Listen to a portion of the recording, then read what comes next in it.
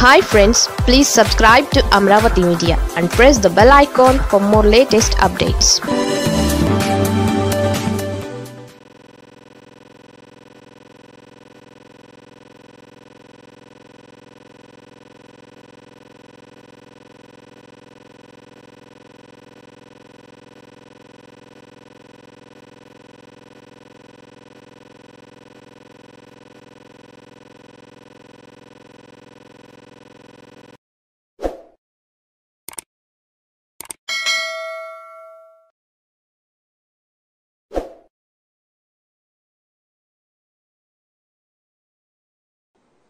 రెండు వేల తొమ్మిదో సంవత్సరం సెప్టెంబర్ రెండో తారీఖున దివంగత ముఖ్యమంత్రి పెద్దలు రాజశేఖర రెడ్డి గారి ఆ రోజు మరణం సంభవిస్తే ఆ మరుటి సం- మరుసటి సంవత్సరం అంటే రెండు వేల తొమ్మిది సెప్టెంబర్ రెండో తారీఖున ఆయన పరమపదిస్తే రెండు వేల పదో సంవత్సరం నుంచి ప్రతి సంవత్సరం టంచనగా సెప్టెంబర్ ఒకటో తారీఖున కానీ రెండో తారీఖున కానీ నలభై ఏళ్ళ ఇండస్ట్రీ చంద్రబాబు నాయుడు గారు తన ఆస్తుల చిట్టాని విలేకరులకి చెప్పటం అనేది ఒక కొత్త ఆనవాయితీగా పెట్టుకున్నాడు రెండు వేల పదో సంవత్సరం నుంచి. సెప్టెంబర్ ఒకటో తారీఖుని కానీ రెండవ తారీఖుని కానీ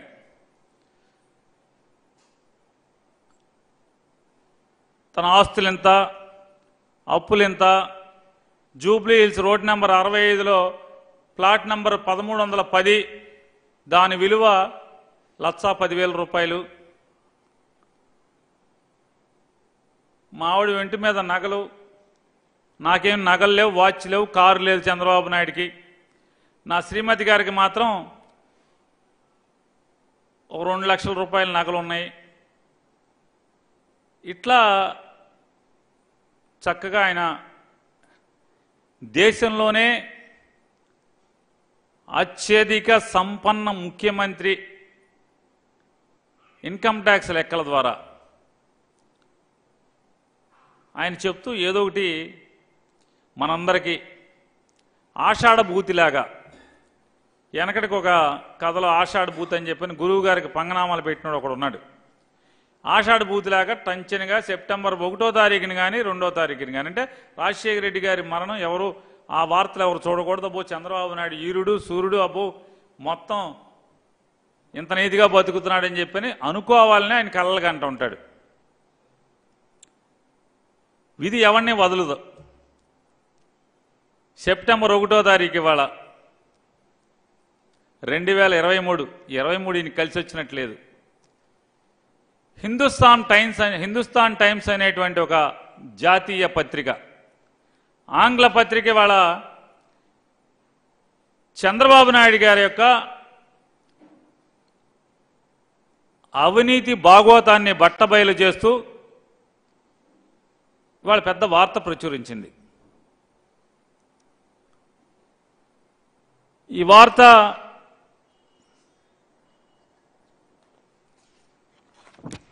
ఇది ఇవాళ హిందుస్థాన్ టైమ్స్లో చంద్రబాబు నాయుడు యొక్క చిలకొట్టుడి మీద ఆయన ప్రజల ఆస్తిలోంచి ఎట్టా జేబు కొట్టేస్తాడు కన్నాలేస్తాడు.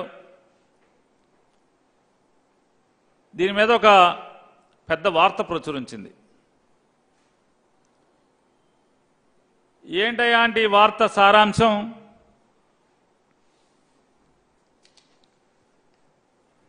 ఆయన అమరావతి మా రాజధాని మా రాజధాని అని చెప్పిన మొత్తం మనకు సినిమా చూపిస్తున్నాడు కదా బయోస్కోపు. బయోస్కోప్ ఈ బయోస్కోప్ కథలో ఏంటయ్యా ఈ చంద్రబాబు నాయుడు గారికి ఇదంతా ఈ వల్లమాలిని ప్రేమ? శుభ్రంగా ఏ- వైజాగ్లోనే ఎక్కడోనో ఒక ఐదు వందల కోట్లో వెయ్యి కోట్లో పెట్టి కట్టేయటమా? లేదా ఎక్కడో అక్కడ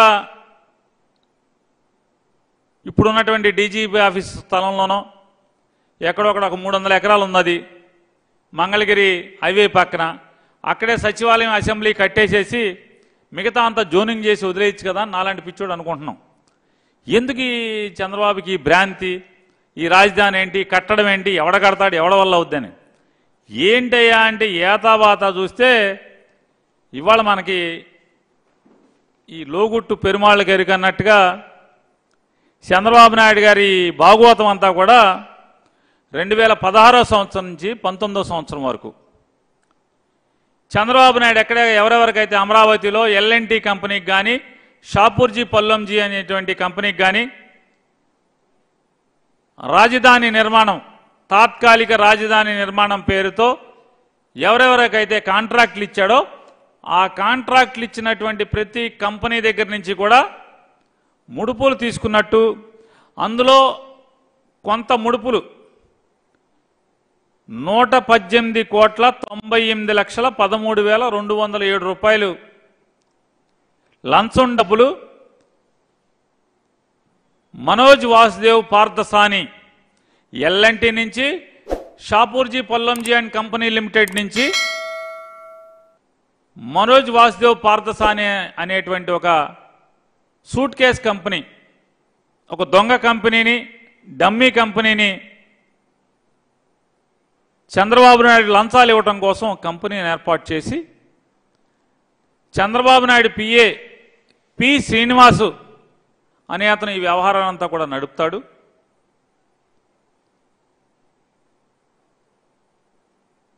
ఎప్పుడెప్పుడు ఎక్కడికి రావాలి ఎక్కడ తీసుకోవాలి ఏంటి అని చెప్పని ఇవన్నీ ఈ లెక్కలన్నీ కూడా చంద్రబాబు నాయుడు ముఖ్యమంత్రిగా ఉన్నప్పుడు ప్రైవేట్ సెక్రటరీగా పనిచేసినటువంటి పి శ్రీనివాస్కి ద్వారా చంద్రబాబు నాయుడు ఇవన్నీ తీసుకున్నట్టుగా హిందుస్థాన్ టైమ్స్ అంతా కూడా ఇన్కమ్ ట్యాక్స్ వాళ్ళు డిస్క్లోజ్ చేసినట్టుగా హిందుస్థాన్ టైమ్స్లో పెద్ద వార్త ప్రచురితమైంది.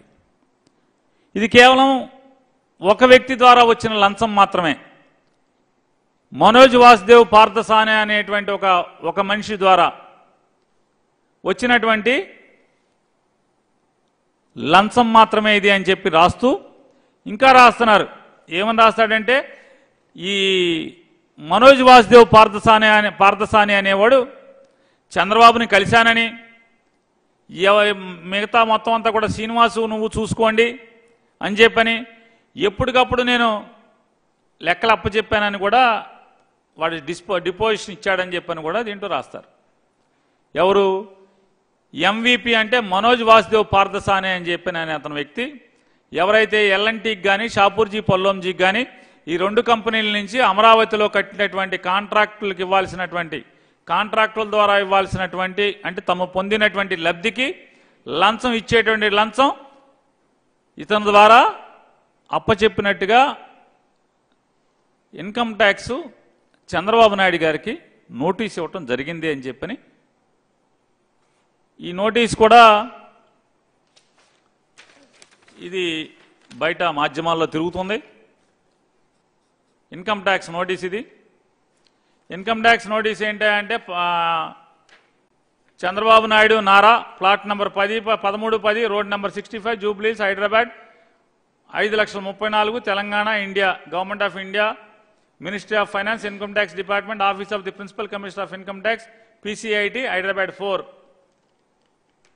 ఇరవై ఎనిమిది తొమ్మిది రెండు వేల ఇరవై రెండో తారీఖున చంద్రబాబు నాయుడుకి ఇన్కమ్ ట్యాక్స్ నోటీస్ ఇచ్చింది హైదరాబాద్. ఇరవై ఎనిమిది ఎనిమిది తొమ్మిది రెండు వేల ఇరవై రెండున. నీ భాగవతం బట్టబయలేంద్రా బాబు. ఈ మనోజ్ పార్థసాని నీకు చిల్లరిచ్చాండి అంటే నీ తాలూకాకి. నీ లంచాల భాగవతం బట్టబయలైంది మాకు దొరికినంత వరకు నూట పద్దెనిమిది కోట్ల తొంభై ఎనిమిది లక్షల పదమూడు వేల రెండు వందల ఏడు రూపాయలు ఈ మనోజ్ వాసుదేవ్ పార్థసాని ద్వారా నీ పిఎస్ పిఎస్ పి శ్రీనివాస్కి డబ్బులు అందినట్టుగా. ఇన్కమ్ ట్యాక్స్ ఈ డబ్బుల్ని నువ్వు దాచి ఉంచిన నీ ఆదాయం కింద మేము ఎందుకు పరిగణించకూడదు? నువ్వు దాచిపెట్టిన ఆదాయం కింద డిస్క్లోజ్ చేయనటువంటి నీ ఇన్కమ్ కింద మేము ఎందుకు పరిగణించకూడదు? ఏ సంవత్సరానికి? రెండు వేల ఇరవై ఇరవై ఒకటో సంవత్సరానికి గాను.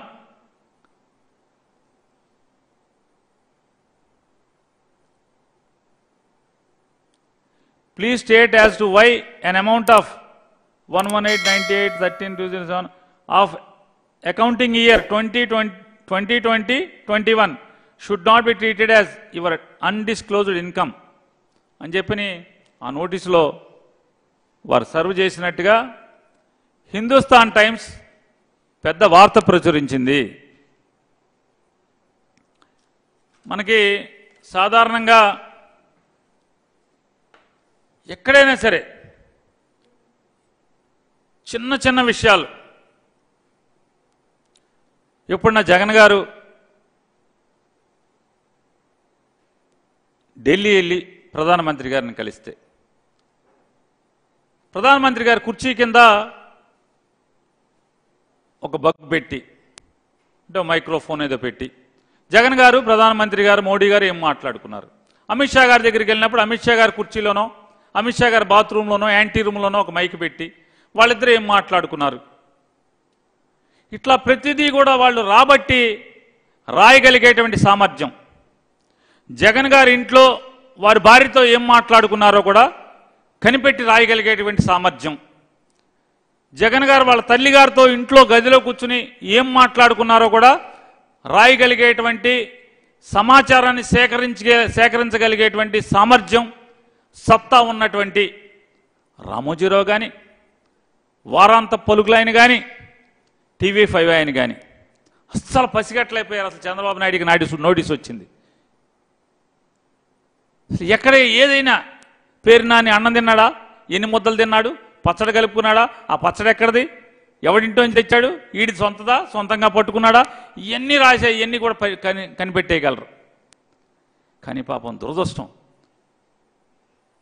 చాలా విచారిస్తున్నాను నేను.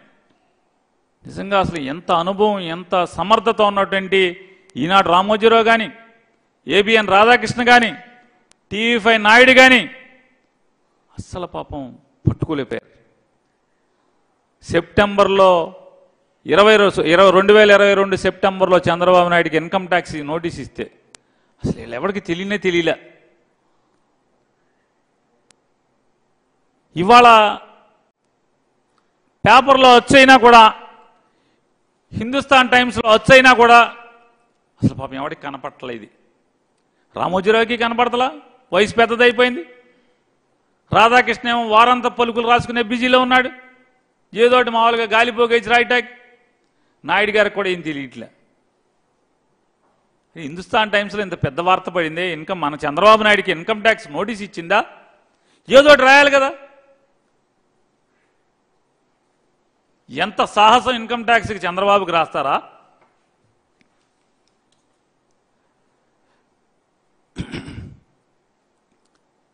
చంద్రబాబు నాయుడికి ఇన్కమ్ ట్యాక్స్ నోటీస్ ఇస్తుందా? ఈ దొమ్మ ఎక్కడి నుంచి వచ్చింది? నలభై ఏళ్ళ ఇండస్ట్రీకి ఇంత సమర్థుడికి ఎంతోమంది ప్రధానమంత్రులను పనిచే మార్చినోడికి ప్రధానమంత్రులను కుర్చీలో ఎక్కించినోడికి అని కూడా వార్త రాయలైపోయారే అసలు ఇన్కమ్ ట్యాక్స్ డిపార్ట్మెంట్ చెడిపోయిందని. ఏదో ఒకటి రాయాలి కదా. రాయలేకపోయారు రాయిట్లా తెలియట్లా మీకు. ఈ స్థితి దౌర్భాగ్యం వచ్చింది చంద్రబాబు నాయుడు గారు గుర్తుపెట్టుకోండి. పైన ఎన్టీ రామాగారు ఆత్మ.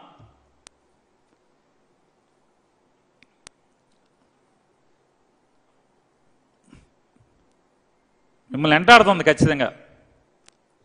పంతొమ్మిది వందల తొంభై ఐదు సెప్టెంబర్ ఒకటో తారీఖున రామారావు గారిని పడేసి మీరు ప్రమాణ స్వీకారం చేశారు.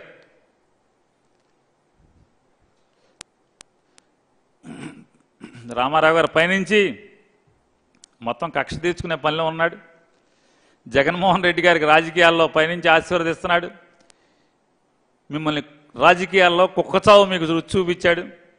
మీరు ఎన్టీ రామారావు గారికి వెన్నుపోటు రుచి చూపిస్తే రాజకీయాల్లో మీకు కుక్కచావు రుచి చూపించడం పైనుంచి ఎన్టీ రామారావు గారు జగన్మోహన్ రెడ్డి గారికి అండదండలు ఇస్తూ ఆశీర్వదిస్తూ చేస్తూ ఇవాళ పంతొమ్మిది వందల తొంభై ఐదు సెప్టెంబర్ ఒకటిన మీరు ఎన్టీ రామారావు గారిని కోల్దోసిన రోజు.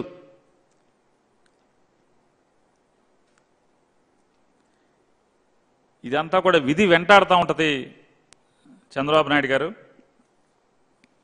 ఎవడు క్విక్ కైక్ మంటలా? ఈనాడు మాట్లాడదు ఏబిఎన్ మాట్లాడదు టీవీ ఫైవ్ మాట్లాడదు. పేపర్లో రాయరు. సెప్టెంబర్ ఇరవై రెండు నుంచి వారాంత పలుకులు లేవు ఎడిటోరియల్ కాలం లేవు ఫ్రంట్ పేజీలు లేవు. ఏదోడి చంద్రబాబు లంచాలు తినేసాడన్నా రాయాలి. లేదా ఇన్కమ్ ట్యాక్స్ చెడిపోయిందన్న రాయాలి కదా. రెండు రాయరు.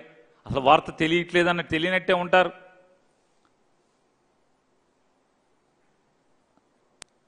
నేను చంద్రబాబు నాయుడు గారిని నలభై ఏళ్ళ ఇండస్ట్రీ సుత్తి కౌరులు చెప్పడం కాదు ఛాలెంజ్ చేస్తున్నాను చంద్రబాబు నాయుడు గారు. హిందుస్థాన్ టైమ్స్ ఇన్కమ్ ట్యాక్స్ మీకు నోటీస్ ఇచ్చిన మాట వాస్తవమా కాదా? ఇదిగో income tax notice. Income tax notice ఇది. ఈ నోటీస్ మీకు అంతి వచ్చిందా రాలేదా? ఈ వార్త హిందుస్థాన్ టైమ్స్లో ఈ అచ్చు వేసినటువంటి వార్త నిజమా కాదా? నోరెప్పురే? ఏదో మామూలుగా చెవులోంచి ఒక గొట్టం లాగి మామూలుగా రోజు సినిమా చూపిస్తున్నారు అందరికీ. మాట్లాడండి. హిందుస్థాన్ టైమ్స్ ఏంటిది? నిజమా అబద్ధమా? తప్పుడు రాతలు రాశాడా హిందుస్థాన్ టైమ్స్? మీరు అమాయకులా? అమరావతి పేరుతో డబ్బులు కొట్టేసింది నిజమా కాదా? తినేశారా తినలేదా?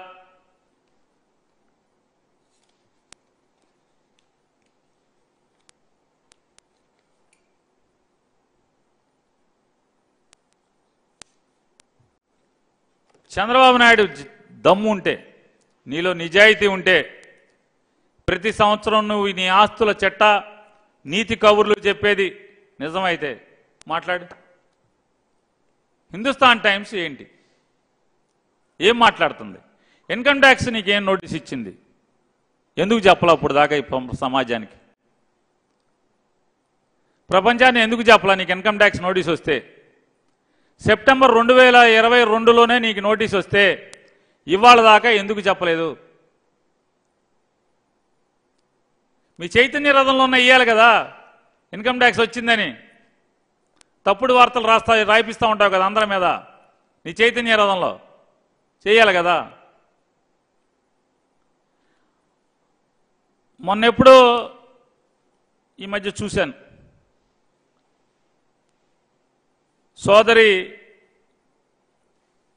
శాసన మండలి సభ్యురాలు శ్రీమతి పోతుల సునీత గారు వాళ్ళ ఇంట్లో కుటుంబ సభ్యుల్ని ఏదో అందని తోలనాడిందని వాళ్ళ నాన్నగారిని ఏదో అందని లోకేష్ గారు పాదయాత్ర ఆపేసి మరీ హైకోర్టుకు వచ్చి పరువు నష్టం దావా ఆయన వేశాడని ఆయన పెద్ద పెద్ద మాటలు మాట్లాడాడు. ఎవరిని వదలను. పోతులు సునీతని నేను జైల్లో వేస్తాను. కోర్టుకి ఈడుస్తాను పరువు నష్టం దేవాయేస్తాను పేక్ కోసేస్తాను పెద్ద పెద్ద మాటలు మాట్లాడాడు ఆయన. లోకేష్ గారిని కూడా నేను ఇవాళ అడుగుతున్నా మీ పాదయాత్ర ఆపేసి హిందుస్థాన్ టైమ్స్ని ఏం చేస్తారు? రండి. నువ్వు నిజంగా పరుష పౌరుషం గలంగా అయితే. ఒక మగ్గం వేసుకునే అమ్మాయి మీద పెద్ద పౌరుషంగా మాట్లాడావు కదా. ఒక చేనేత కులం నుంచి వచ్చినటువంటి చిన్న కులం నుంచి వచ్చినటువంటి సోదరిమణి వెనుకబడిన కులం నుంచి వచ్చినటువంటి సోదరిమణి పోతుల సునీత గురించి నువ్వేదో అమ్మాయి పేక్ వస్తా పరువు నష్టం దావా కాల్చి వాతలు పెడతా డొక్క దించి జోలు కడతా జైలు వేస్తా చాలా పెద్ద పెద్ద మాటలు మాట్లాడావు కదా మంగళగిరి వచ్చి. ద హిందుస్థాన్ టైమ్స్ మీద ఏం చేస్తారా? దా ప- పాదయాత్ర ఆపేసి వచ్చేసే వెంటనే. రైన్ హిందుస్థాన్ టైమ్స్ మీద తండ్రి కొడుకులు ఇద్దరు ఏం చేస్తారు? మీ పరువు నష్టం ఇది ఒకవేళ ఇన్కమ్ ట్యాక్స్ నిజం కాదు మీరు లంచాలు తినలేదు రండి ఛాలెంజ్ చేస్తాను మిమ్మల్ని. హిందుస్థాన్ టైమ్స్ మీద పరువు నష్టం దావా వేయండి. చేసే దమ్ముందా? ఈ తప్పుడు సంతకాలు చంద్రబాబు నాయుడు మళ్ళీ ఇప్పుడు కొత్తగా మళ్ళీ తప్పుడు సంతకంతో కొత్త యాసంతో బయలుదేరాడు. అధికారం కోసం ఎంతకైనా దిగజారేటువంటి తప్పుడు మనసుతో ఉన్నటువంటి వ్యక్తి చంద్రబాబు నాయుడు. ఎంత మోసానికైనా బరిదెగిస్తాడు ఈ మోసాలకి ఇతను వాడుకుని వదిలేయటంలో ఎవరినైనా వారు వీరని లేదు. మామ దగ్గర నుంచి పిల్లనిచ్చి కాళ్ళు కడిగినటువంటి తండ్రి సమానుడైనటువంటి నందమూరి తారక రామారావు దగ్గర నుంచి మొదలు పెడితే బావమరుదులను వాడుకుని వదిలేశాడు మోసం చేశాడు. తోడల్లుడిని వాడుకున్నాడు వదిలేశాడు మోసం చేశాడు. ప్రజల్ని వాడుకున్నాడు వదిలేశాడు. ఎంతోమంది నాయకుల్ని వాడుకున్నాడు వదిలేశాడు. కమ్యూనిస్ట్ పార్టీలను వాడుకున్నాడు వదిలేశాడు మోసం చేశాడు. భారతీయ జనతా పార్టీని పంతొమ్మిది వందల తొంభై తొమ్మిదిలో వాడుకున్నాడు వదిలేశాడు. పద్నాలుగులో వాడుకున్నాడు మళ్ళీ వదిలేశాడు. మళ్ళీ రెండు వేల ఇరవై నాలుగులో భారతీయ జనతా పార్టీని వాడేయటాకి వాడుకుంటాకి ఎన్ని కాళ్ళు పట్టుకోవాలో అన్ని కాళ్ళు పట్టుకుంటున్నాడు. రెండు వేల పద్నాలుగులో పవన్ కళ్యాణ్ని వాడుకున్నాడు వదిలేశాడు. రెండు వేల ఇరవై నాలుగులో మళ్ళీ వాడుకుని వదిలేయటానికి మళ్ళీ సిద్ధంగా ఉన్నారు ఇద్దరు. వాడుకుంటాక ఇతను సిద్ధంగా ఉన్నాడు ఉపయోగపడ్డాక అతను సిద్ధంగా ఉన్నాడు వెట్టి చాకరీ చేయటానికి. చంద్రబాబు నాయుడు వాడుకుని వదిలేనటువంటి రాజకీయ పార్టీ కానీ ప్రజలు కానీ చంద్రబాబు మోసం చేయనటువంటి అంటే వాడుకుని మోసం చేయనటువంటి పలానా ఓడున్నాడని చెప్పండి. మీ ఇష్టం. పలానా ఆయన్ని ఉంటే ఒక్కడే ఒక్కడున్నాడు. చంద్రబాబు నాయుడు వాడుకుని మోసం చేయకుండా ఎవరున్నాడే అంటే ఈనాడు రామోజీరావు గారిని మాత్రం వాడుకునేంతవరకు మోసం చేయలే. ఎందుకు మోసం చేయలేదంటే చంద్రబాబు నాయుడు దగ్గరికి రామోజీరావు గారు ఎప్పుడు రాడు. అందుకే దూరంగా కొండ మీద ఉంటాడు హైదరాబాద్లో. వచ్చిన కాంచి కసక్కని మామను పొడిచిన నన్ను కూడా పొడిచాడు ఎందుకురా బాబు అని చెప్పాను. ఒక్క ఈనాడు రామోజీరావుని తప్పితే వెన్నుపోటు పడకుండా వాడుకుని వదిలేయకుండా